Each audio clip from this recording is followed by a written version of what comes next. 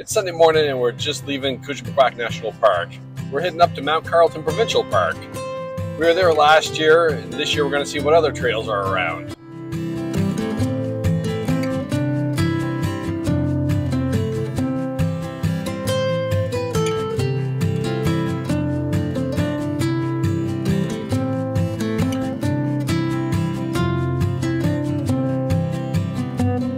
We're heading west on Route 180, heading towards Mount Carleton. We just passed the point where we lost cell phone reception, which is expected, and we're probably going to hit the spot where we're getting no telephone poles soon.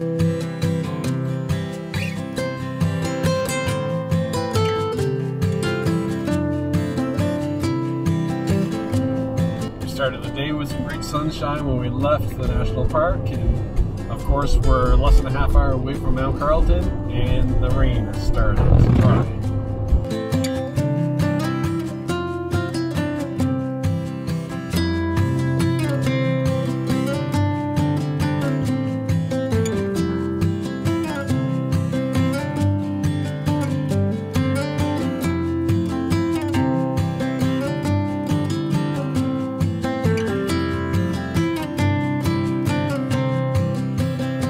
problems going away for four days in a row is you don't know what the forecast will be, so you gotta be prepared with footwear, especially with Kirsty just getting back up on her feet for the hikes.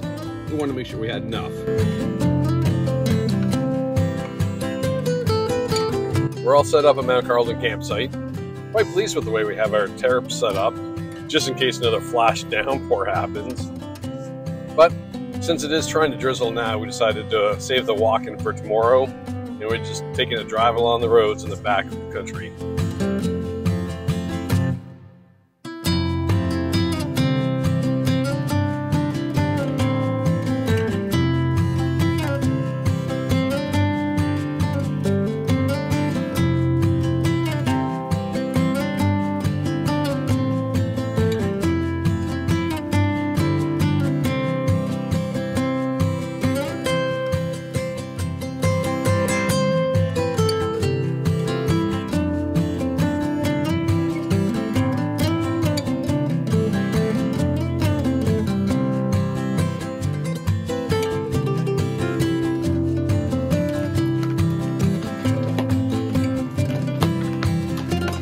Monday morning, our first morning waking up at Mount Carleton Provincial Park.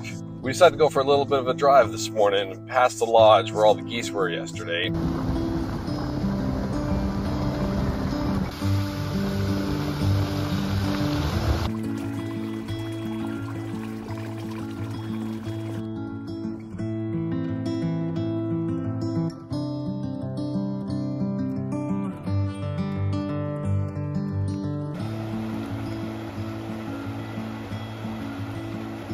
We had no luck finding any wildlife in the park other than uh, grouse. So we decided to take adventure outside the park to see what we could find.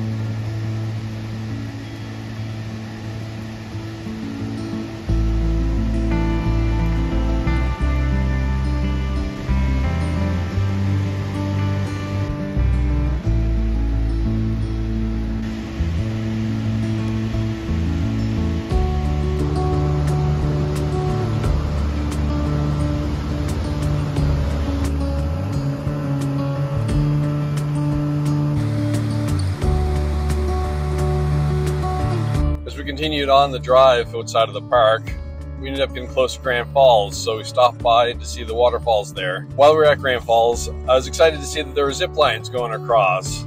Unfortunately, they were closed for the day due to the bad weather. And now we're on our way back, and the skies are looking a little more dark than they were before. We're just about back into Mount Carleton, and we're taking some logging roads. Not only do we figure that, who knows, we may see a moose, but it's just cool to see different vantage points of nature. Sure enough, we did find some moose tracks. Not the most fresh, but hey, better than the moose droppings that we saw when we were down at the Fundy Trail. we're getting closer to seeing a moose, maybe one of these days.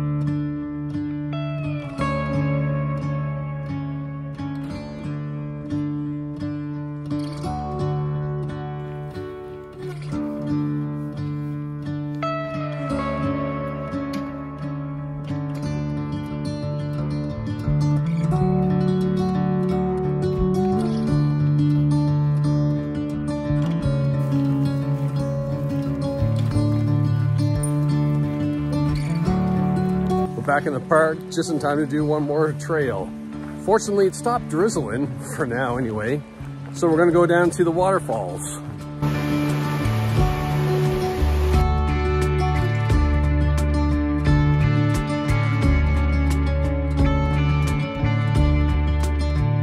Another near miss for us seeing a moose. There's a bunch of moose droppings.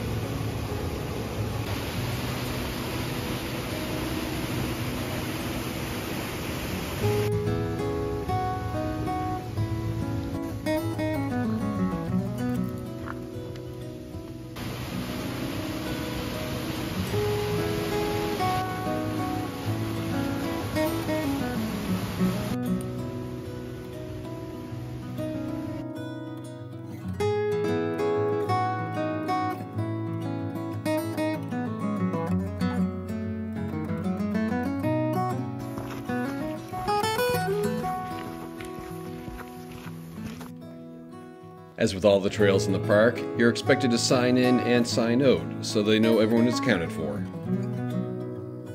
Being passionate about emergency response, I was very intrigued when I saw this trailer. I'm being told that they just acquired it and are in the process of customizing it in-house.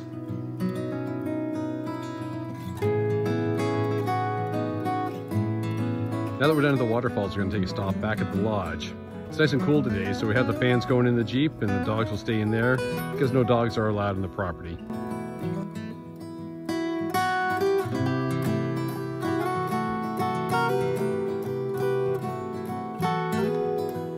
At the back of the lodge is a large comfort center.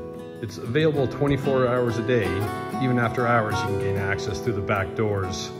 There's a fireplace with provided firewood that you can have a fire. There's also Wi-Fi here along with plugs that you can charge your devices.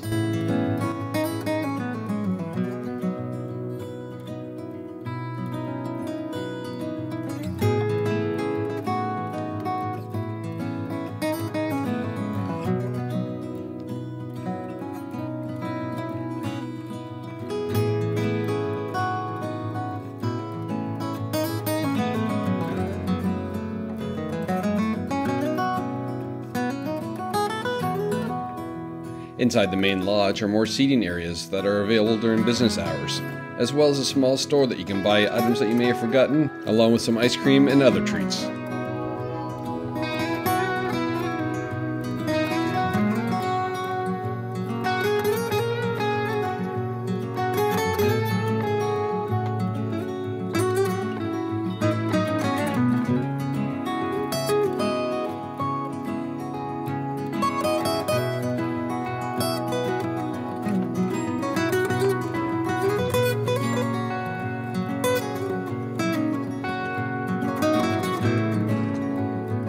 Here at Mount Carleton Provincial Park, we stayed at Site 22. It's a nice site. right in the corner.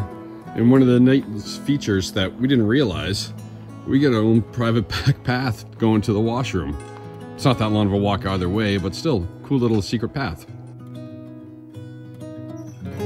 This side is more uphill than we anticipated, but we were able to find a level spot with the help of the leveling jacks. And the solar panels fit perfectly right in the front here.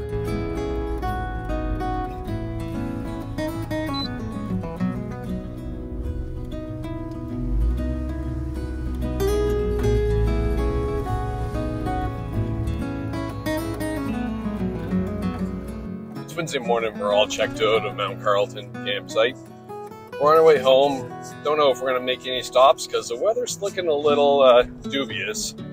Kirsty pointed out this morning the only thing that was almost more elusive than the moose was the sun. But we still had a good time.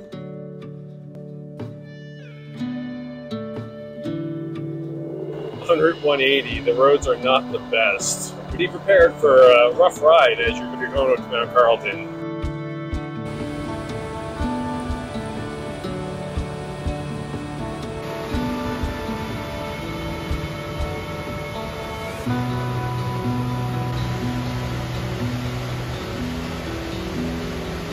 Part of the joys of traveling during the summer months is construction. Bound to happen. I know it's necessary evil. It's uh, some of the traffic backups are a little bit longer than expected, but well, we're back in Nova Scotia, buttons.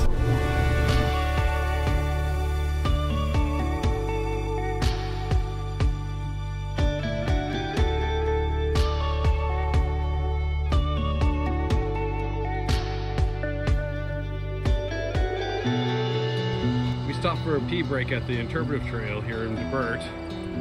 Unfortunately, it's still closed from all the storms that happened last year.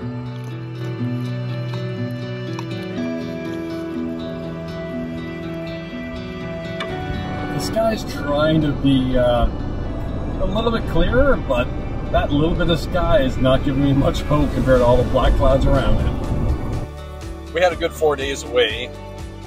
Two of them down towards Kouchibouguac, and then two of them to Mount Carleton. It's always fun having an extended getaway. Thanks for coming along with us. Now we're off for our next adventure.